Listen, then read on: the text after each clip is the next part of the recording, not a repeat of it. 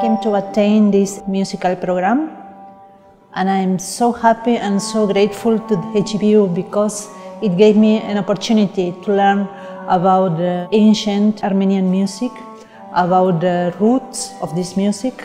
I am having a very significant time. I hope everybody will come to know about that and come to Armenia.